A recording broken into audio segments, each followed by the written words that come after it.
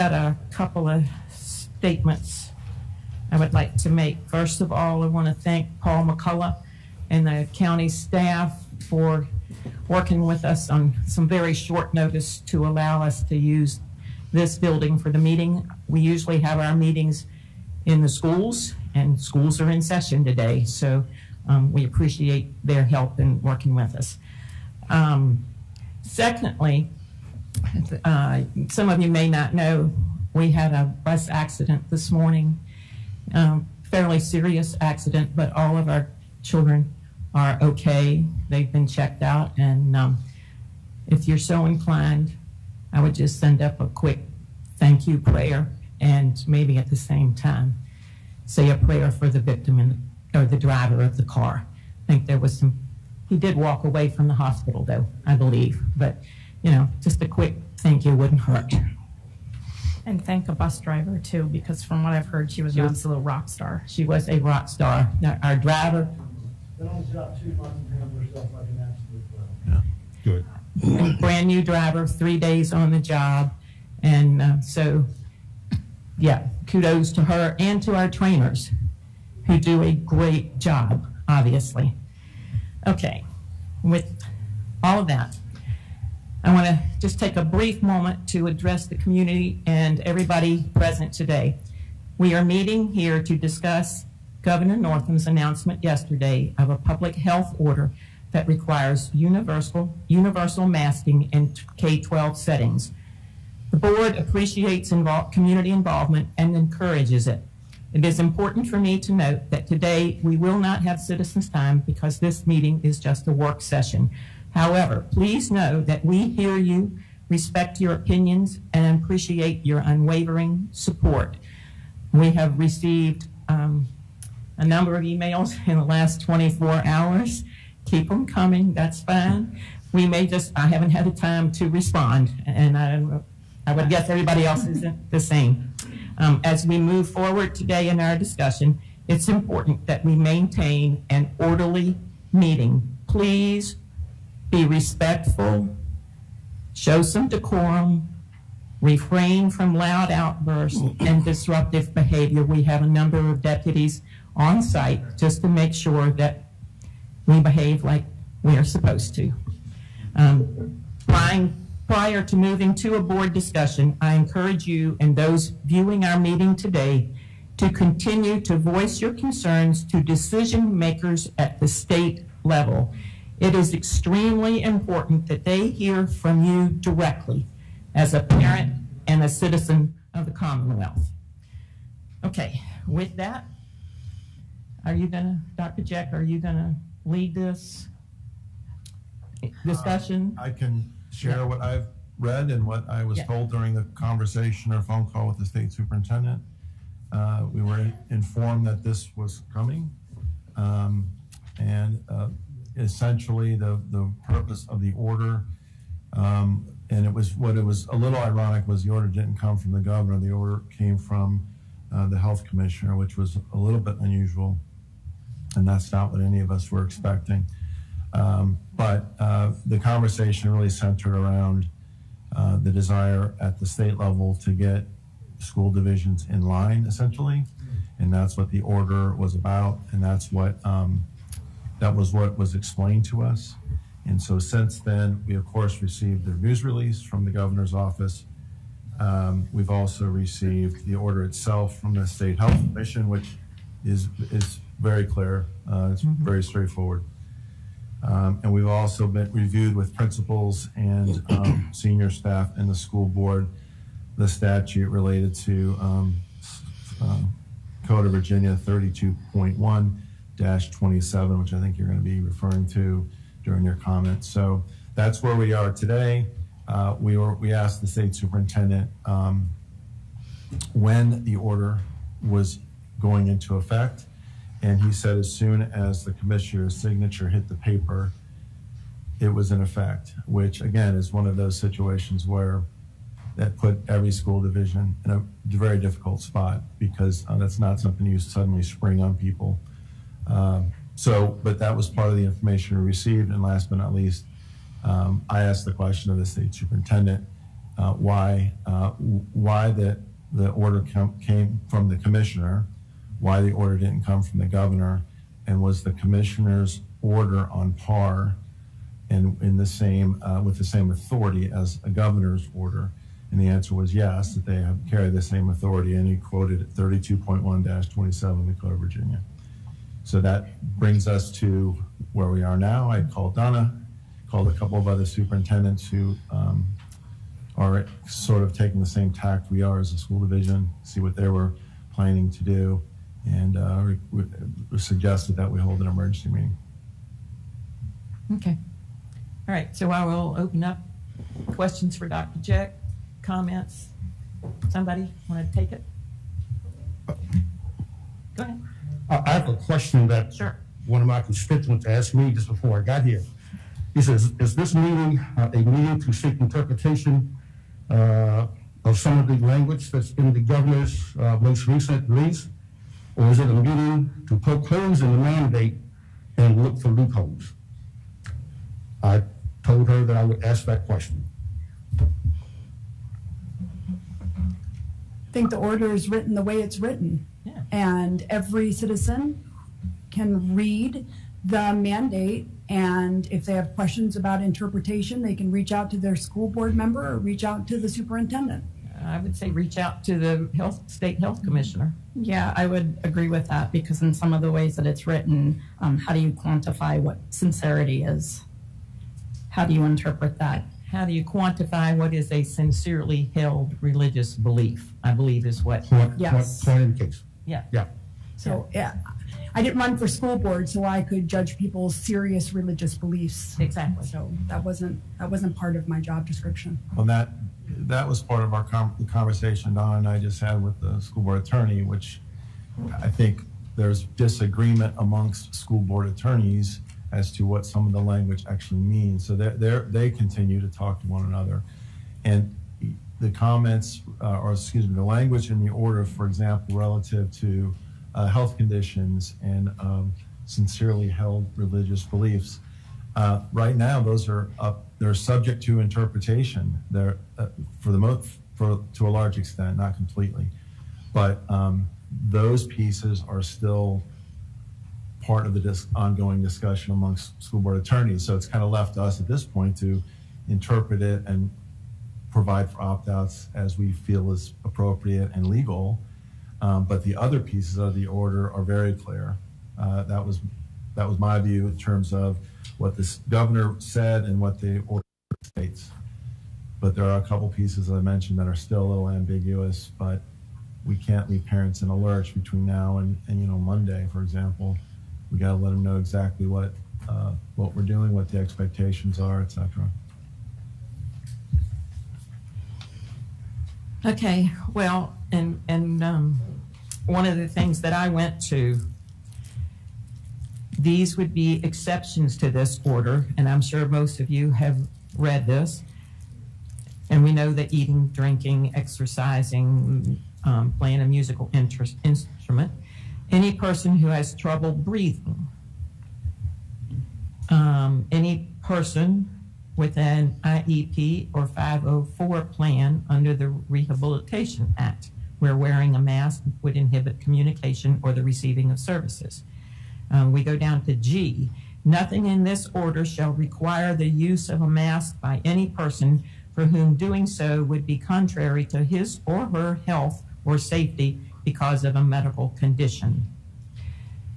So I know from the emails that I did read, there are parents saying, my child has a medical exemption. Please be, this is your notification. So moving forward, I think we need to make that as easy as possible for parents to do that. And that would be the same thing, um, any person, at the end of that section, any person who declines to wear a mask because of a medical condition or any person with a sincerely held religious objection to wearing masks in school may request a reasonable accommodation. Um, If we can have staff prepare something We are, we're working on it now. um, that would be very easy for parents to, my child has a medical condition. Is, is, is And- that, is that all it's gonna take for the parent to say, my We- child has a medical condition, that's it? From um, the conversation with the attorney a few minutes ago, and in reading all the language, we believe that is correct, Mr. Bland. But the information we received was, um, the information we received from the attorney and what we've read, we're not, we are not able to have, a parent- the child comes into a school and with a note from a parent, for example, and I don't know what the mechanism is gonna be to record and track this, but, but we're gonna come up with one. But if, if that's provided by the parent, A, we, we can't require any documentation. And B, we can't ask what the specific um, Condition. condition is. So um, that's difficult, and we don't, and frankly, we don't want to put school That's- staff, That's my point. yeah, we don't want to put school staff in a position where they're having to pick and choose. But I, I would say that, I mean, uh, you know, that the, our school admin and teachers, they're gonna, they're gonna do the absolute best that they can. And they have done the absolute best that they can. Their, their job is to teach. And their, their job is to sit, look out for the welfare of, of kids and, uh, and they take that job very seriously. So, um, you know, the, the, the bus accident this morning was just a really, it was an excellent reminder of uh, how important safety, the safety of our student is. And um, I, I was able to watch the film, and it was awful. Um, so student safety is extremely important, but um, the way this section is written, it's again prima facie. It's very clear. If it doesn't, it doesn't even say serious medical condition. It Yeah. says medical condition. And by law, we're not allowed to ask specifically what it is or ask for documentation. What, uh, Ms. Grove, the other part, but seriously, about, about the religious exemption, Right. what, what defines seriously? Sincerely.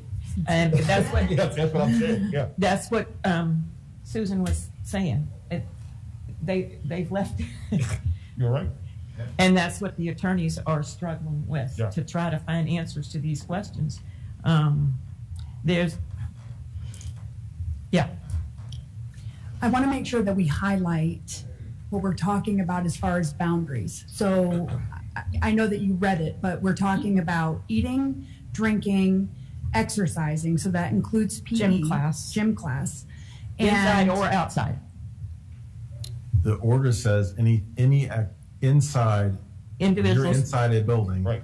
K-12 public building, uh, school building, you are to wear masks. but it also says the exceptions to this order include individuals exercising or using exercise equipment. So if you're in PE in the gym, you do not need to wear your mask. Uh, I'd have, I'd have to take a look at that again because uh, I'll take a look at it again. Yeah. That, that's, that's a tricky one there. You're inside, It doesn't make any difference. That's an exception. It's listed as an exception to this order. yeah. Where are you reading from? Yeah, Um, but the, it's a middle- the three-page State Health Commissioner's order. It's that one. Oh, this, okay. Yeah, it's that one, page two, B. Yeah, it doesn't say inside or outside. So if you're would be- would be exercising, Exercising inside or outside. right, Right. He's got it, right.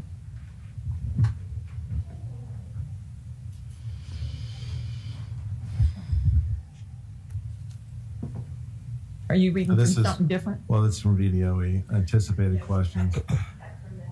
Do students have to Wait a minute, wait a minute.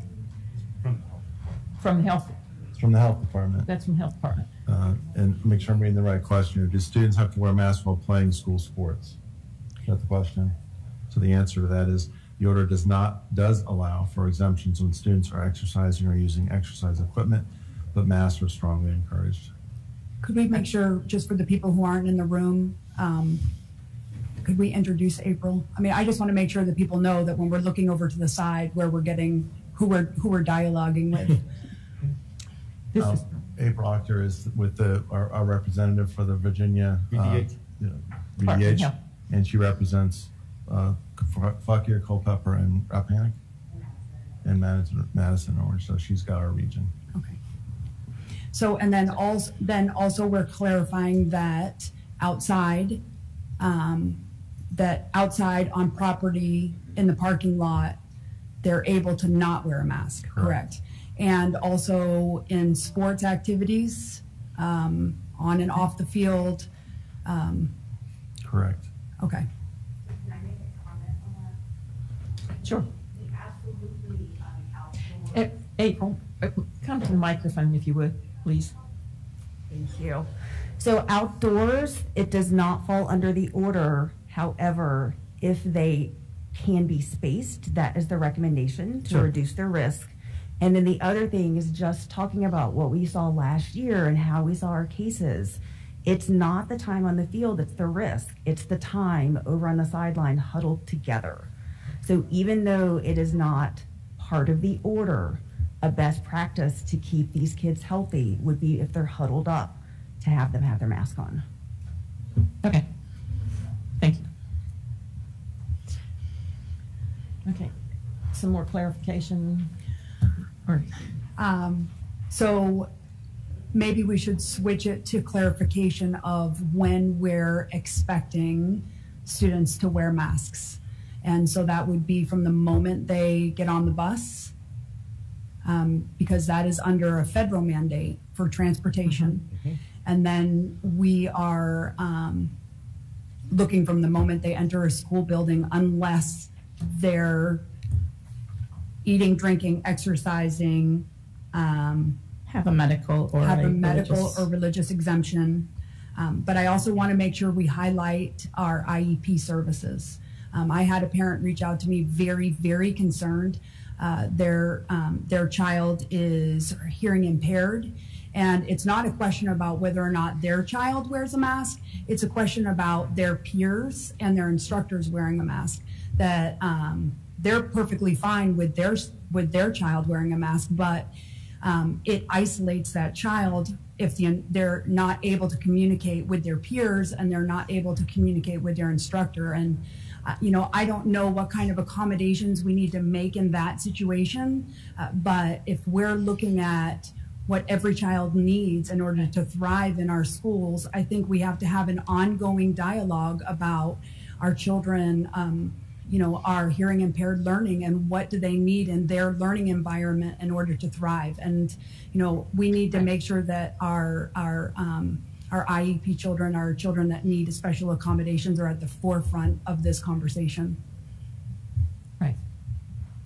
Right. A hearing impaired, for instance, needs someone, uh, needs a teacher with no mask on. Right, and we, and, you know, I think last year there was some allowance with, um, with shields, and, and I know that, that it's now been determined that shields are ineffective, so what, what is our, what's our option in a classroom with a child that actually needs to be able to communicate by seeing, by seeing mouths and faces, so, We, we had a handful of students. Okay. um, Use that, uh, and there was uh, students on the autism spectrum, for example, or Okay. in, in uh, speech hearing. Uh, We had a handful of students who utilized the, the shields, and I, I don't recall there being any issues with that. Um, But that was one, that was based, that was an accommodation essentially. okay. And the teacher also, in With the those shield. situations, would have to wear a shield also.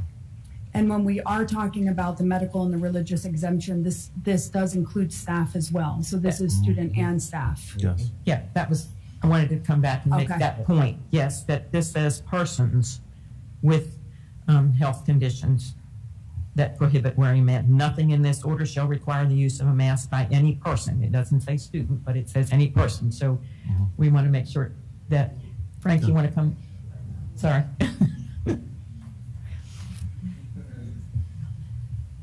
just stepping back to the issue that, that um, Ms. Pauling brought up is it does help if the teacher is vaccinated.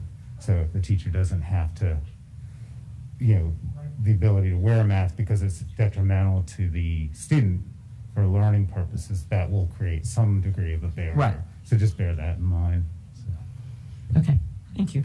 And, and HIPAA, you know, HIPAA obviously is applied to staff as well as students. So those, those protections are in place for all persons. So that's another thing we need to keep in mind.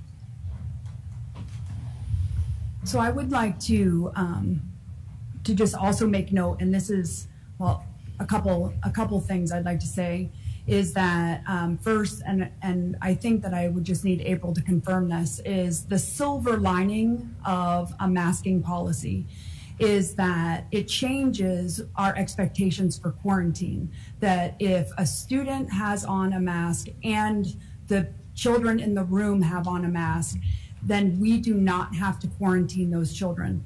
And so I'm I'm not one. Uh, you know, I'm I obviously already voted for this to be a parent decision, but I'm trying to to add a silver lining to this situation is that it will minimize uh, quarantines. It will minimize teachers having to quarantine. Um, and, you know, the goal is for children to be in school five days a week and to have um, to have them in the classroom. And, uh, you know, I've been I've been trying to look for the silver lining for uh, I would say probably a month in all of this dialogue. Uh, but uh, one thing I think that is important to remember that there are two sides to um, this position of masking mandates or not mandating. And uh, I really do appreciate the fact that Duke gave the other gave a different perspective on Monday night because I think one thing that we've lost in this dialogue is the ability to actually listen to people and dialogue and converse. And I think that when we have a student and um, you know a high school student and a middle school student willing to come and share about how they feel personally about a mask mandate. And when people in our community are booing them and telling them to sit down it's it's mortifying because they're a right to their opinion and they're and they have a right to their voice. And when we've lost all decency as grown-ups in the room to allow our children to express how they feel I, I think that we're falling short as adults, leading by example. And so I'm sorry if you, like, this situation is not where we wanted to sit. I did not want to sit here because honestly, anytime the word mandate is issued, like when the when the federal government is, issues a mandate for the states, I believe it's an overreach. Anytime that there's a mandate from the governor to the localities, I think it's an overreach. And anytime a school board mandates to a family, I believe it's an overreach. But also understanding that these are the these are the guidelines we have to operate in. And um, I, I would just like to encourage everyone, we've got to change how we're communicating in our community. And when we have students from our school division come and speak in citizens time, we should be applauding them for using their voice to speak how they feel, not booing them and telling them to sit down. And I, I'm just, I think we've got to change how we dialogue as grown-ups. And we need to lead because our kids are watching. Thank you. Very well said, Ms. Pauling. Thank you. Yeah, April? Thank you for saying that. Um, just one follow up on your, your comment about quarantine of these kids and that from our perspective, you know, Daniel and I both have kids in the school system and we want them to stay in school. Right. If all of the kids are masked, then that rule applies. But if you have a group of kids and one of the kids is not masked, then the rule doesn't apply any longer. And so we want to keep that in mind when we talk about how we're going to implement the policy. If our goal is number one, keeping these kids from getting sick, and number two, keeping the bottoms in the chairs and getting them educated. We need to consider all of that when you have your discussion. I, I appreciate that, April.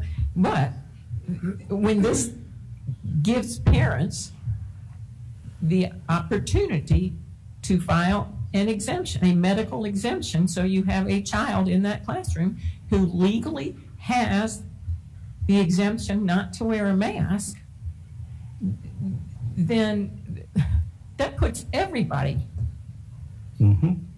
in an awful place. We feel you. We got this news at the same time that you did yesterday. Yeah. Uh, Right. So we, we are all in this together. Um, that's when we start to apply layered mitigation, right? So if, if there's a student and they have a medical exemption and they cannot wear the mask, maybe we can distance them. And then if we have six feet of distance, then maybe that's an option.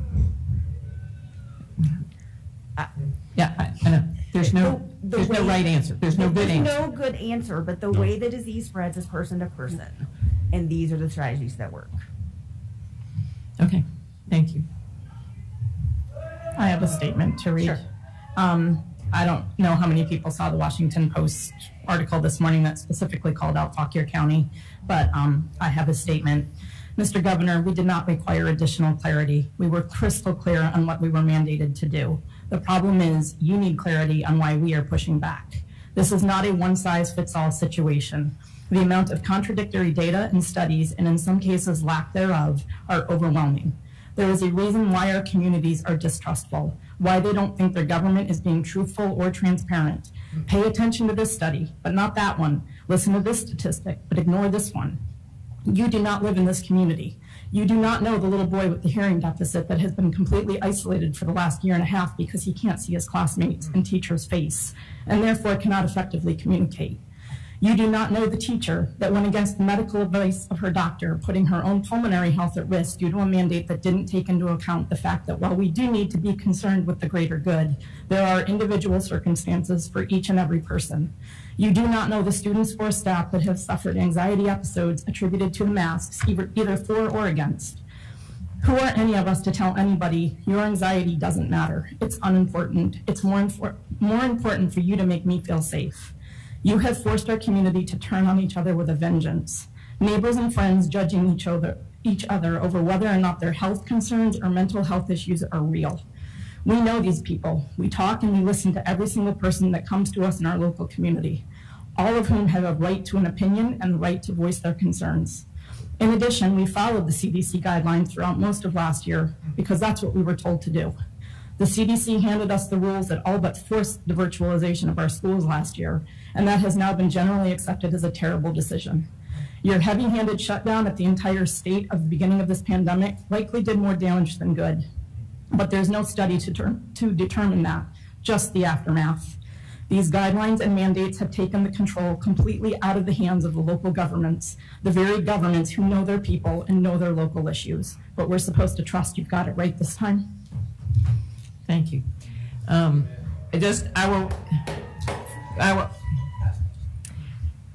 there's a number of, of things that, obviously, that bother me about this, but um, there's no endpoint. It says when the CDC changes their recommendations, their recommendations for, are for the entire country.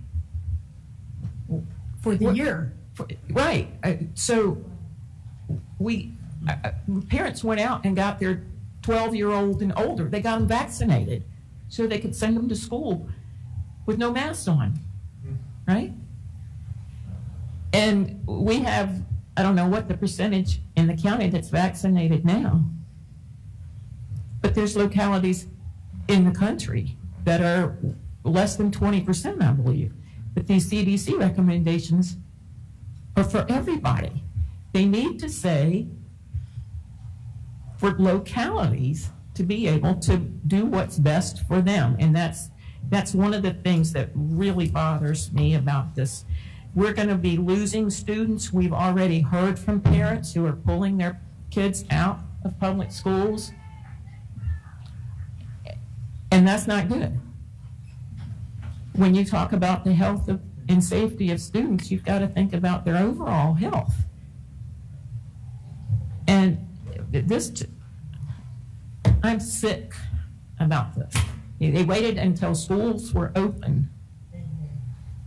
They didn't do this to give schools and parents, parents who have already made decisions for this year based upon what we were saying. And they waited until parents had made those decisions and then come out with this. And don't give parents any time to process it and decide what's best for their family. This is mandated now. Boom. Also remember that they did this last year when they said that it was up to the localities and then privately said that if we strayed from it, that we would be held responsible because it would be seen as gross negligence. Mm-hmm. And they did the same thing this year when they gave us the guidance and said that each locality could decide and now giving us a mandate because we didn't do what they wanted. And um, I would like to say that everybody's okay with the mandate as long as it's the one that you agree with. But what happens with the next mandate? And what happens when it, it's not going to just stay with our schools. Oh, no. And, and it's going to move into our community. And I know that people are looking for the school board, for us five to stand up and say, like, this, this isn't right. But I think that, that at some point in time, like you had said in the very beginning, our, our, our issue is with Richmond. And this is not, this is being taken out of the locality, out of our hands. This is being directed and mandated by Richmond. And I think that, that our constituents need to know that, that um, every email you send to us, you need to send to Richmond. And you need to start going to the source because at this point in time, we weren't brought to the table of this conversation. Our conversation was on Monday and we voted. And our voices were heard and then our voices were, were neg- were negated.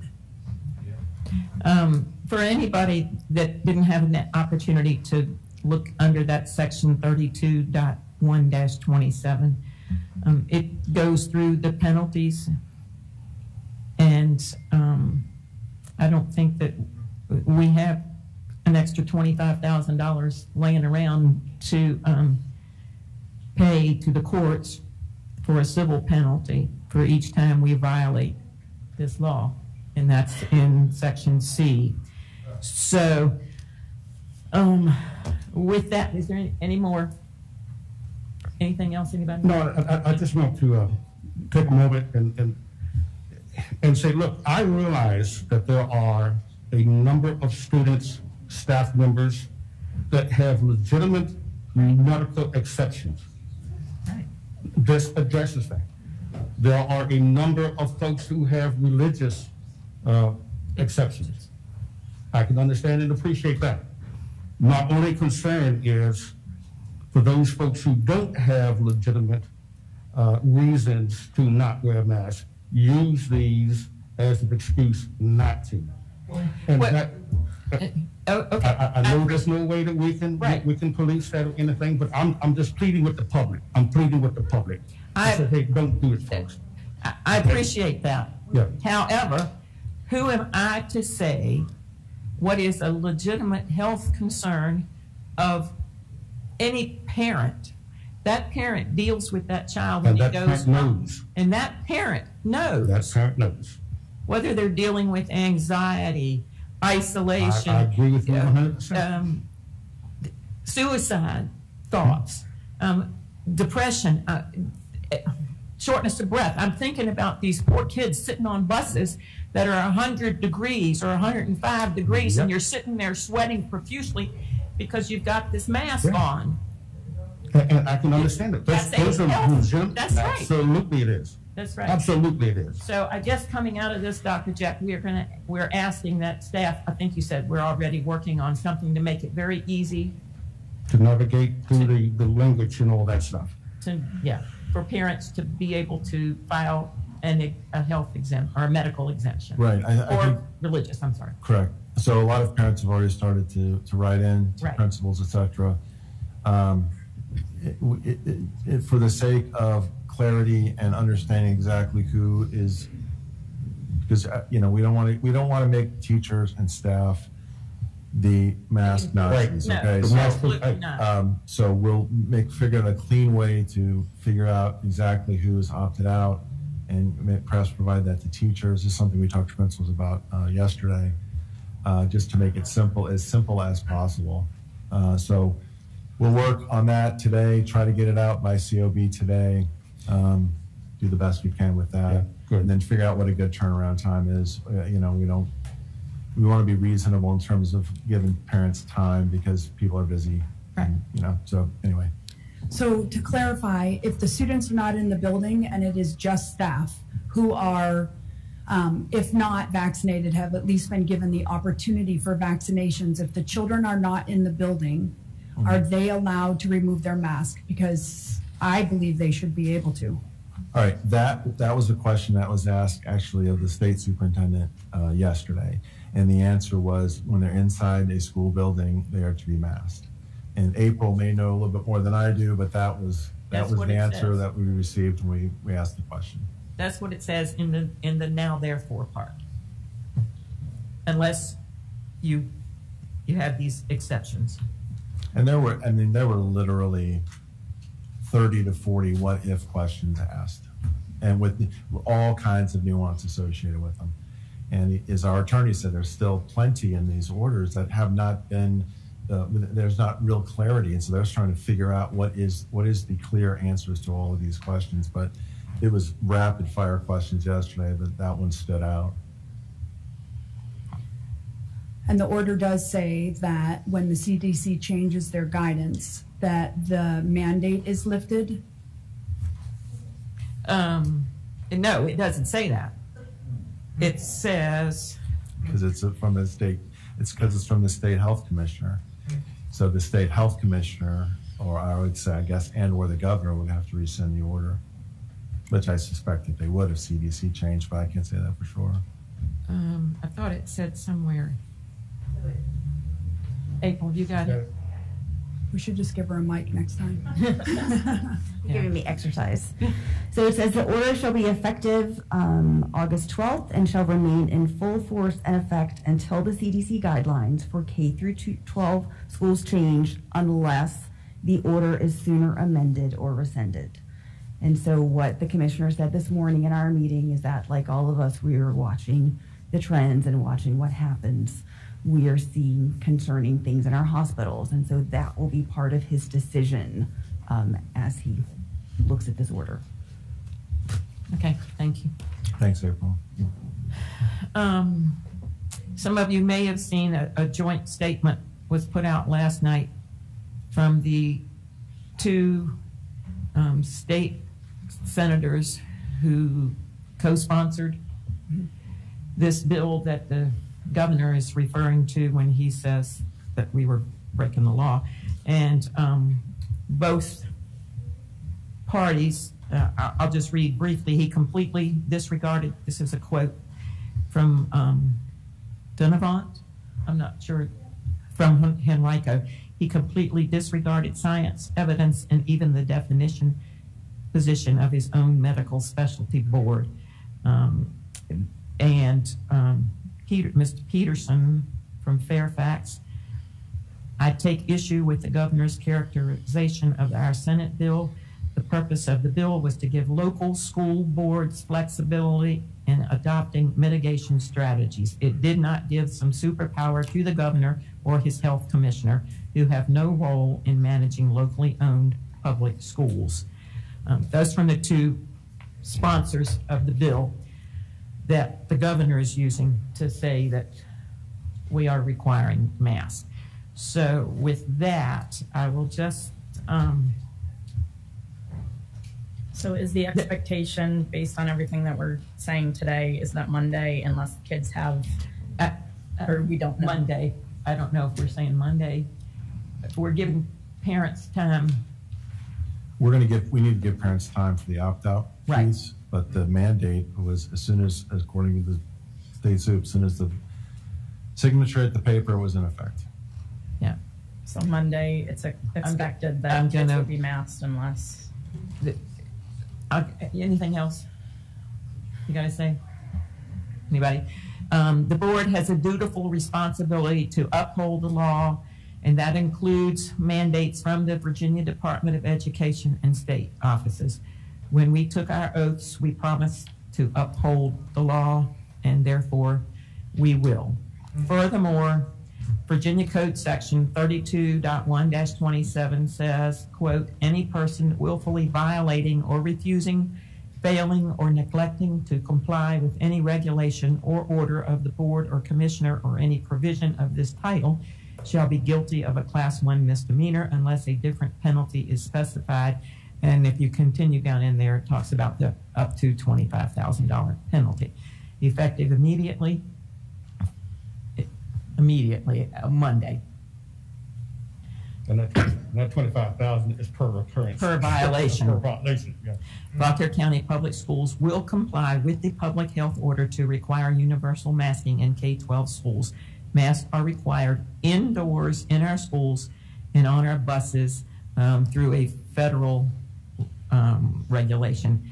Masks will remain optional outdoors. Please note, these allowable exceptions to mask wearing are medical conditions, disabilities, developmental immaturity, other health or safety concerns as indicated by the CDC or sincerely held religious objections. Um, There will be more information coming out from the schools today. Yes, ma'am. Um, yesterday in our principals meeting, we worked with principals, we're developing that form, so that'll come out from the schools. Okay, Um, for parents to be able to check those options. Yes, Um, so They can't hear you.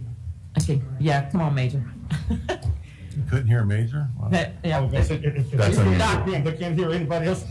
Dr. Warner. So we're working with principals. We had a meeting yesterday. We're developing the form that'll go out to parents um, later today through the weekend. They'll be able to check those options. Okay. And schools will manage those lists in the schools at their level. Okay, thank you. So, And we will give parents a week to, or, I, I think a week is reasonable, but again, just keep in mind, the mandate is in effect okay, now. Now, mm-hmm. yeah. Anything, anybody else? motion to adjourn? Move to adjourn? Second. So moved. Meeting adjourned.